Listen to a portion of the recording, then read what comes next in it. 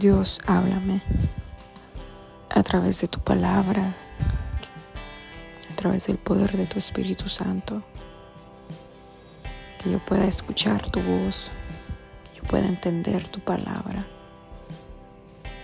pueda yo atesorarla y ponerla por obra en mi vida,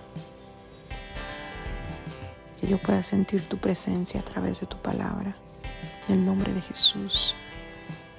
Te lo pido, Señor, transfórmame, moldéame, ayúdame a vivir una vida santa, recta delante de ti, Señor. Una vida íntegra delante de ti, Dios, en el nombre de Jesús. Amén. Segunda de Crónicas, capítulo 1 de la Reina Valera. Salomón, hijo de David, fue afirmado en su reino, y Jehová su Dios estaba con él y lo engrandeció sobremanera. convocó Salomón a todo Israel, a jefes de millares y de centenas, a jueces y a todos los príncipes de todo Israel, jefes de familias, y fue Salomón y con él toda esta asamblea al lugar alto que había en Gabaón, porque allí estaba el tabernáculo de reunión de Dios que Moisés, siervo de Jehová, había hecho en el desierto. Pero David había traído el arca de Dios de Keriat Jearim al lugar que él le había preparado porque él le había levantado una tienda en Jerusalén. Asimismo el altar de bronce que había hecho Besaliel, hijo de Uri, hijo de Ur, estaba allí delante del tabernáculo de Jehová, al cual fue a consultar a Salomón con aquella asamblea.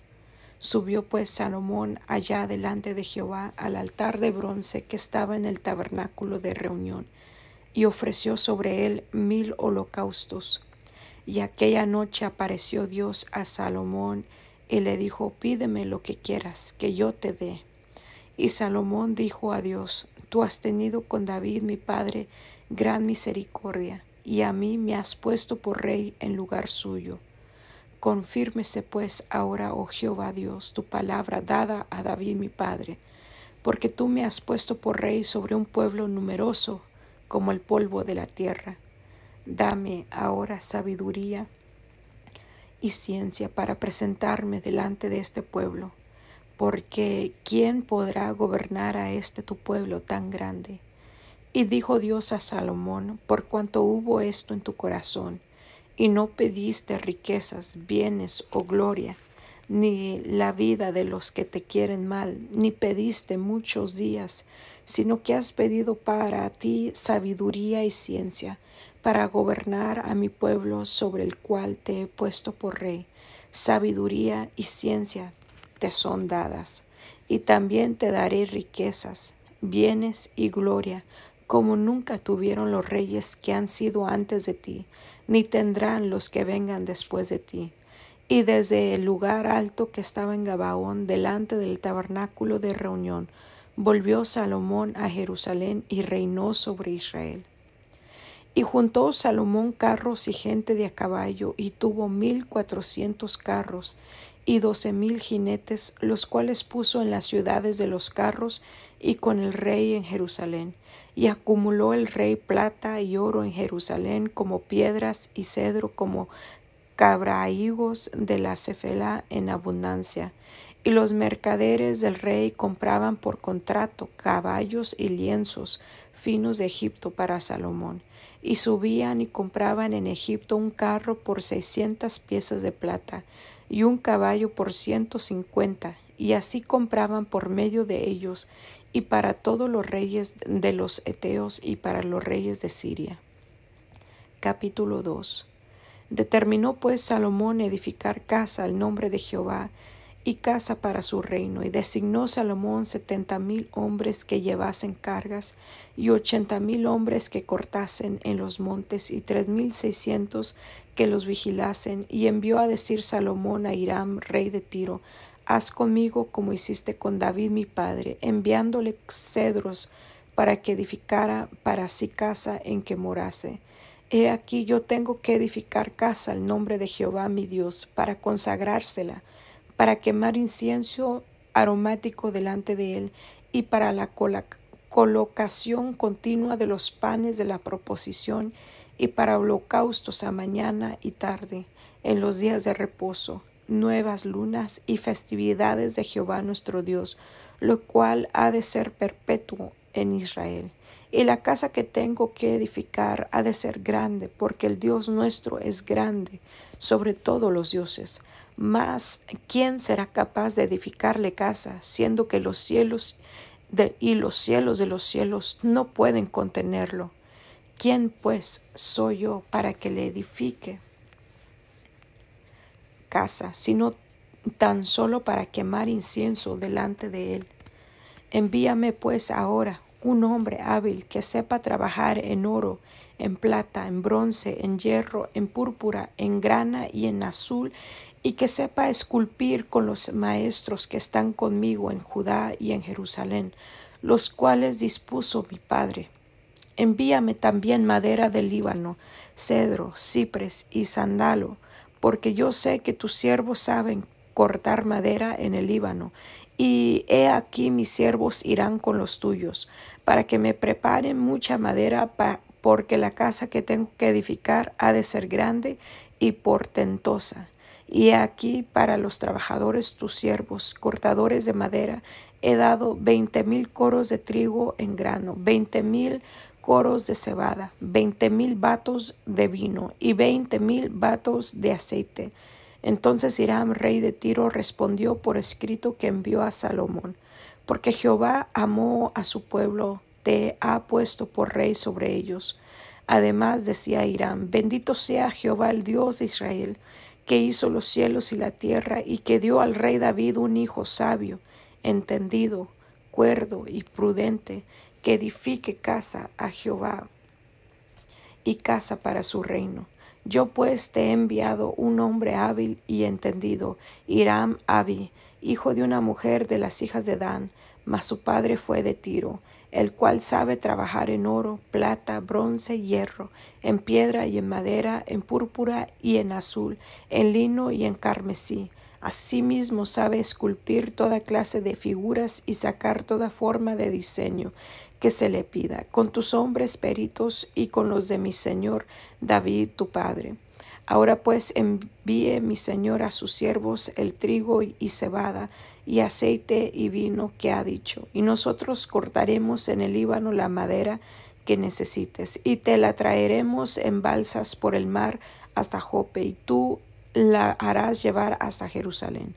Y contó Salomón todos los hombres extranjeros que había en la tierra de Israel, después de haberlos ya contado David su padre, y fueron hallados ciento cincuenta y tres mil seiscientos, y señaló de ellos setenta mil para llevar cargas, y ochenta mil canteros en la montaña, y tres mil seiscientos por capataces para hacer trabajo al pueblo. Comenzó Salomón a edificar la casa de Jehová en Jerusalén, en el monte Moría, que había sido mostrado a David su padre, en el lugar que David había preparado en la era de Ornán Jebuseo, y comenzó a edificar en el mes segundo a los dos días del mes, en el cuarto año de su reinado. Estas son las medidas que dio Salomón a los cimientos de la casa de Dios.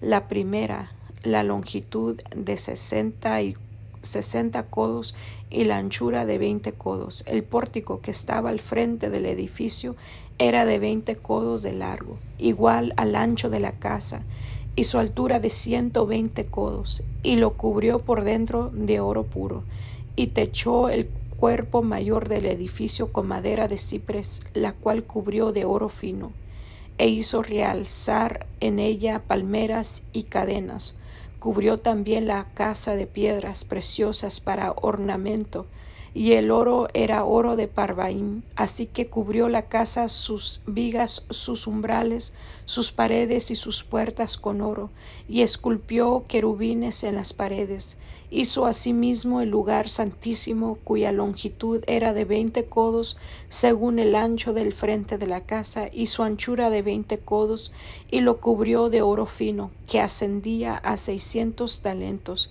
y el peso de los clavos era de uno hasta cincuenta ciclos de oro. Cubrió también de oro los aposentos, y dentro del lugar santísimo hizo dos querubines de madera, los cuales fueron cubiertos de oro. La longitud de las alas de los querubines era de veinte codos, porque una ala era de cinco codos, la cual llegaba hasta la pared de la casa, y la otra de cinco codos, la cual tocaba el ala del otro querubín. De la misma manera, una ala del otro querubín era de cinco codos, la cual llegaba hasta la pared de la casa, y la otra era de cinco codos que tocaba el ala del otro querubín. Estos querubines tenían las alas extendidas por veinte codos y estaban en pie con los rostros hacia la casa. Hizo también el velo de azul, púrpura, carmesí y lino e hizo realzar querubines en él. Delante de la casa hizo dos columnas de treinta y cinco codos de altura cada una con sus capiteles encima de cinco codos. Hizo asimismo cadenas en el santuario y las puso sobre los capiteles de las columnas, e hizo cien granadas, las cuales puso en las cadenas, y colocó las columnas delante del templo, una a la mano derecha y otra a la izquierda, y a la de la mano derecha llamó Jaquín y a la de la izquierda Boaz. Dios, gracias por tu palabra. Gracias porque vemos, Señor, que tú contestas peticiones, tú contestas, Señor, el deseo de aquellos que ponen su confianza en ti, Dios. Señor Salomón ofreció sacrificios, holocaustos a ti, Dios, y tú te presentaste a él. Señor, aquí vemos, como dice tu palabra, deleítate a sí mismo en Jehová y Él concederá las peticiones de tu corazón. Dios Salomón se estaba deleitando, Señor, en ofrecerte sacrificio, holocausto, Señor, por la bondad, Señor, de haberlo puesto por rey. Señor, y nosotros ofrecemos nuestra vida, Señor, como un sacrificio vivo y santo delante de ti, Dios, sabiendo, Señor, que por de ti, Señor, por tu mano hemos sido salvos. Señor, tú nos has transformado, nos has cambiado, nos has dado una nueva oportunidad. Señor, pero igual, Señor, que Salomón, Señor. Señor, a través de Jesucristo, dijo pedir cualquier cosa en mi nombre y te será dado, Señor. Y si nosotros siendo padres malos, sabemos dar buenas cosas, siendo tú Dios un Padre perfecto, perfecto en amor, no nos darás buenas cosas. Si te pedimos sabiduría, no nos la darás, Dios. Señor, y en esta hora, así como Salomón, Señor, pedimos sabiduría y ciencia, Dios. Señor, que tú nos des sabiduría y ciencia para gobernar nuestros hogares. Señor, para poder, Señor, conducirnos rectamente, sabiamente delante de ti, Dios. Señor, para que podamos llevar a cabo, Señor, la obra que tú has puesto para nuestras vidas. Señor, para llevar a cabo, Señor, Señor, el proclamar el, el Evangelio, las buenas nuevas, que es poder tuyo, Dios. Señor, hoy más que nunca, Dios, donde hay tanta confusión, Señor, donde hay, Señor, tanta, tanto rechazo al Evangelio por, por personas que han manchado tu nombre, han manchado el Evangelio, Dios. Señor, pedimos que tú nos des sabiduría, nos des ciencia, Dios, para poder conducirnos de la manera correcta delante de ti. Señor, para poder, Señor, criar hombres y muchachas, nuestros hijos, Señor, en el temor tuyo, Dios. Te necesitamos, Señor. Necesitamos el poder de tu Espíritu Santo, Señor que tú estés conduciendo nuestra vida, Señor. Nos dé sabiduría y ciencia para conducirnos, Señor, para poder ser fuente de bendición, Señor, para los que nos rodean, para nuestra familia, para nuestra comunidad, para nuestro país, Señor. Señor, pedimos que tú des sabiduría y ciencia a nuestros gobernantes, Señor, a nuestros presidentes, Señor, Señor, los presidentes de los pueblos, Señor Señor, los alcaldes, Padre, Señor, los jefes de policía, Señor, los que están, Señor, en liderazgo, Padre. Señor, tú les des sabiduría, les des ciencia, Dios, para conducirse, Señor, justamente, rectamente, Señor, para hacer justicia, para hacer lo recto, Padre. Señor, para que la, la justicia no sea pervertida, Señor, para que haya balanzas justas, Padre. Señor, para todos iguales, porque todos hemos sido hechos a, imagen y semejanza tuya, Dios. Señor, que se vea, Señor, la justicia, la igualdad, Señor, el trato igual, Padre, parejos para todos, Dios. Señor, pedimos, Señor, por nuestros gobernantes, Señor, por nuestros líderes, Padre. Sé tú, Señor, dando sabiduría, gracia y ciencia, Dios. Señor, da, Señor, a tu pueblo, Señor, sabiduría y ciencia, Señor, para gobernar, Señor, a sus a sus familias, a sus hijos, Dios. Señor, en el nombre de Jesús, Señor, lo pedimos, sabiendo, Señor, que tú eres un Dios bueno, un Padre bondadoso, que da, Señor, Señor, si nosotros te pedimos, Señor, tú eres bueno para darnos, Señor, especialmente si estamos pidiendo sabiduría, Dios. Señor, gracias, Señor.